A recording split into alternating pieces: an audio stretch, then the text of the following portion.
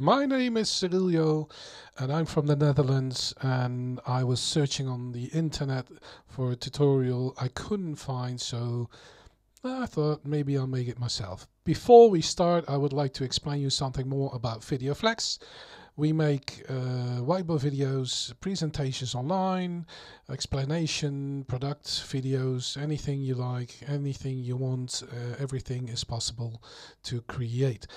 Um, don't forget to subscribe this channel, it would be really, really awesome. And uh, let's start off with a very short tutorial because most of you who know FL Studio 20 doesn't need any more explanation just only where to get the samples and how to make very very easy on an easy basis stomp and clap to use for videos etc um, first of all you go to thatsound.com they don't promote me they don't give me anything.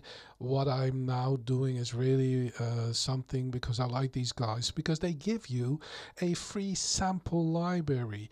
It's really awesome to see what you get. You get three big packages right here and you get such a load of samples where you can create all your stomp and clap with.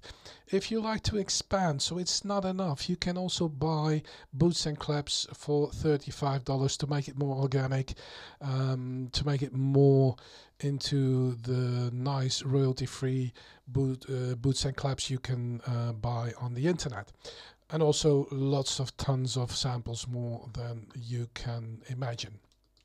All right. We have FL Studio 20. I already created something, and if people, uh, if you if you're watching this and you don't know what a stomp and clap is, I can let you hear an example of it.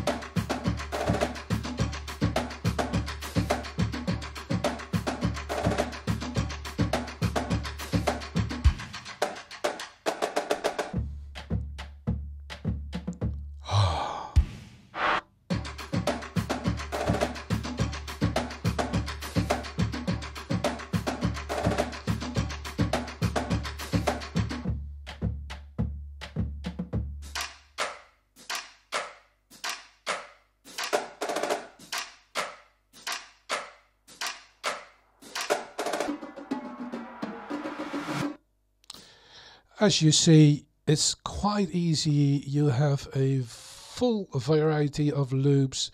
Um, you can have boots like here, chamber claps. You can, like if you stamp your feet with little boots on on the on the ground. If you're in a church, uh, you can use these ones. You can create anything you like in a uh, stomp and clap uh, production.